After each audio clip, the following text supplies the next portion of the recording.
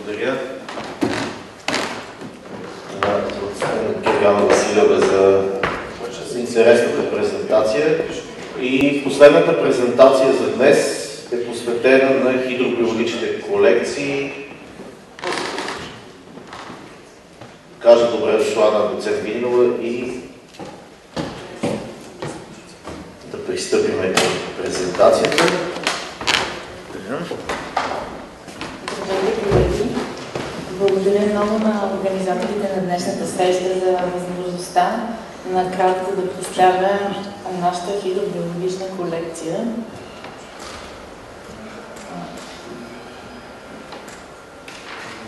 Така, най-общо хидробиологичната колекция се състои от отделни сборове на някои систематични групи, които имат воден стадий на развитие.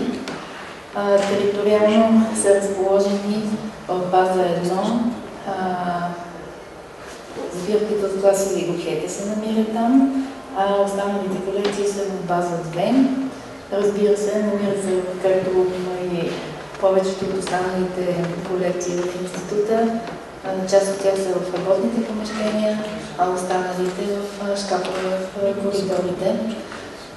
Сбирката в класа Олигохета датира от началото на 70-те години на миналия век и е организирана от професор Йордан Озунов. По-настоящем се поддържа руски асистент Галя Георгиева.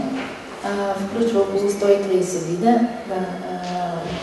Организирана на видов признак представена е с над 80 000 екземпляра, след които обаче, за съжаление, няма типови материали. Сбирката е организирана в проветки, като една проветка кореспондира с една олигофетна проба от пункт на пробовземане. Видовият списък от съответния сбор е отразен в работни документи. А в случаите, когато при видовата детерминация самата особеност на детерминацията при олигохетите изисква всъщност унищожаването на екземпляра и когато първият сбор е унищожен, това е отбелязано а, изрично. Предстои колекцията от олигохетните проби да се организира по отделни сборове, географски райони, поречия и други обекти. Колекцията в база 2 доста значителна по своя обем и колекцията от лавни стадии на семейство Хироноблиде. Събирана е от 1970 година до сега. Организирана е от професор Михайлова и по-настоящем се поддържа и допълва от доцент Юлия Илкова и от специалист-биолог Мила Ихтиманска. Особеното при тази колекция е, че има два типа материали. Трайни микроскопски препарати на ларови външна морфология, главова капсула и тяло и трайни микроскопски препарати на политемните хромозоми на хирономидите. А, освен това, има и материали, които се съхраняват за цитогенетични изследвания, фиксирани а, по малко по-различен начин от останалите проби. Разбира се, колекцията е организирана така, че за всеки екземпляр има етикет с име на персона, място, време на събиране и отделно се поддържа и опис на всички материали. Както отбелязах, тя е доста обширна колекция, съдържа десетки хиляди екземпляри, както и типосите на 9 нови вида, от които 4 са описани в съавторство с колеги от чужбина. Включва материали не само от България, но и от други страни в Европа, Азия, Австралия и Америка. Предстои допълването на тази колекция с трайни микроскопски препарати на нови сборове от миналата година. Така, сега в хидробиологичната колекция има една а, доста богата сбирка на а, клас Хиродинея. Тя е а, организирана през 80-те години на миналия век от доцент доктор Иванка Янева и е запазена в този вид до сега, защото никой след нея не, не е работил с колекцията. По-голямата част от материалите са определени до вид, а останалите до род и семейство. На снимките виждате как е организиран, този сбор. Друга обширна колекция е тази на разред ефемеротера.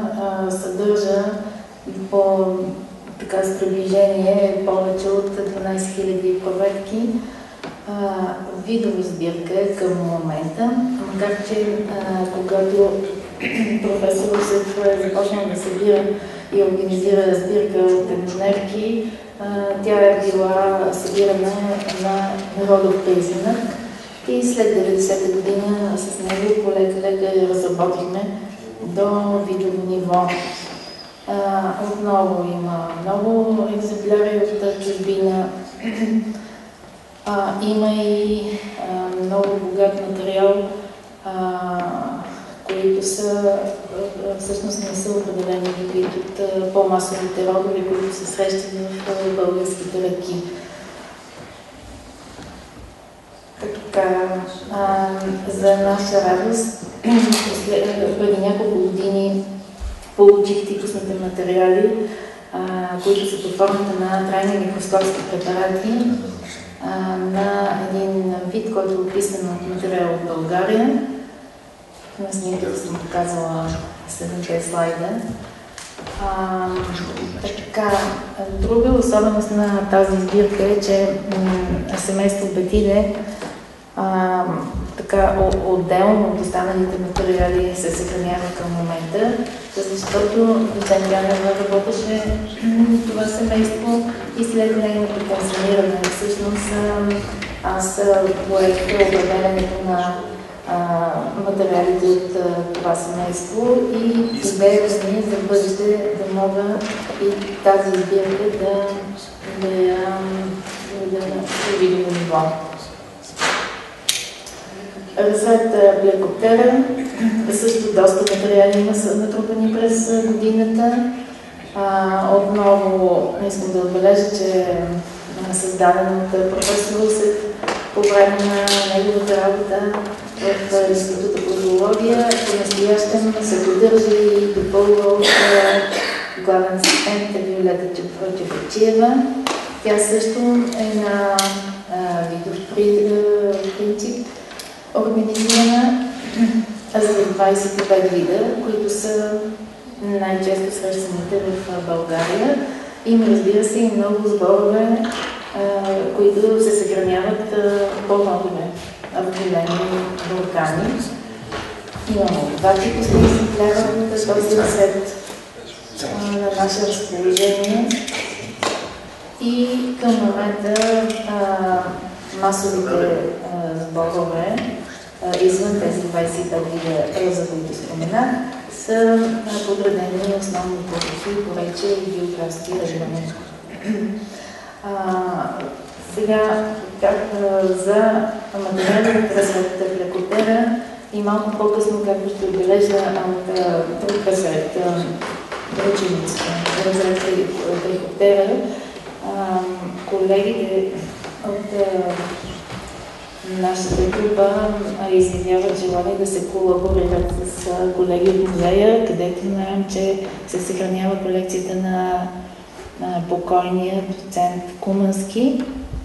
И идеята е да може да, да се да се обогати всъщност да се събере колекцията на едно място. А за Бритера, както казах, в, на наше разположение има материали, които по една или друга причина не са отишли в колекцията на доцент Кумански. По настоящем главен асистент Весела Евтимова има траен интерес за разработване на тази група и разчитам отново на сътрудничеството с колегите от музея да имаме достъп до неговите материали. Той е, знае, че основно е работил с Имаго, но също така а, много от нашите материали, балари, стадии са в неговата колекция. Така, една колекция, която е сравнително нова по време, е тази на водни представители на разред хитероптера и организирана на таксономичен принцип от главен асистент Деси Стоянова. Включва предимно насекоми събрани от 2005-2017 от проблеми в България, но както се вижда от екземплярите в нея, не е толкова малобройна, над 10 000.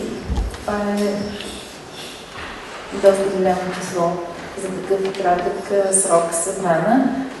Включва 39 вида хитеротерии, но освен материали съхранени в спирт, колекцията включва и оцветени трайни микроскопски препарати за цитогенетичен анализ, изготвени от карбонади на водни хетероптери.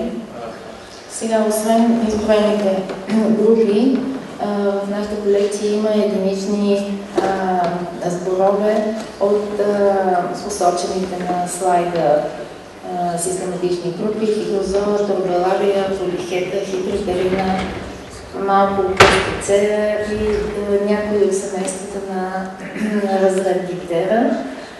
Идеята специално за тези материали е да, да се пристъпи към тяхна дигитализация едва след приглеждането им от колега специалист. А, да, посочила съм, че има доста стари препарати от сбирките на професор Балканов и професор Русев по времето, когато е работил в Варна. Така, има и а, известно а, материали от разделите циклотоида, каламида и подразред колорицера на зоопланктона, разработени, събирани и разработвани от професор Найденов. Поддържат се, тези материали се поддържат от главен асистент Весела Евтимова, но предстои известна работа да се уточни точно колко са материалите, броя на видовете и така нататък. Сега по отношение на съхранението, изброените материали се съхраняват в спирт 80 или 70%, а специално за зооплантонните проби се добавя много глицерин. А, в случая най-малката колекционна единица, това е проверка или малко бурканче с един или повече екземпляра, определени до едното ниво и задължително един сбор. По отношение на съхранението във времето, основно изискване е регулярното им допълване с спирт и разбира се предпазване от изсъхване. Тоест добро определение на бурганите, в които се съхраняват.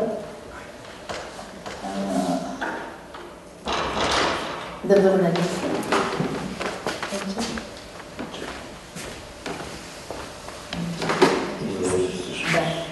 Да, да, това е последна Така, по отношение на ни по време на дигитализацията на материалите от колекцията, единодушно е мнението на колегите, че това трябва да стане от най-добре организираните елементи на всяка една част от колекцията. И след това вече да се допълват с останалите материали. Приемам казаното от колегата Дедов за това, че работата в рамките на този проект трябва да бъде стимул да введем сбирките до едно по-добро, оптимално работещо ниво. Благодаря ви. Аз също благодаря на доцент Винова. Колеги, с времето, не малко, успяхме да хвърлим един поглед на това, което ни очаква или което предстои да се сблъскаме те първа. Работата изглежда доста, доста сериозна и както каза един колега, бедствието все повече се разраства. Бедствието диско. Но се надявам пък ние да успеем да го пребориме. Как да ви кажа, много мислех от тук сега дали да почнем дискусиите от тук сетне, да бъдат официализирани, но си мисля, че с напредването на времето най-добре е те да бъдат предоставени на малко по-така неформален принцип. А, те първо вече, когато започнем а, след курса за работата с програмата за въвеждане на базите данни и ще може да мислим и до тогава да обмислим всички тези предизвикателства, които, за които споменахме в момента. И се надявам част от тях малко постепенно да почваме да ги решаваме. Така че ще се видим, може би, октомври месец. Надявам се без всякакви последствия от постпандемичния хаос, добре отпочинали, добре заредени си идеи за нова работа. А, до тогава приятен, приятен теренен сезон и не забравяйте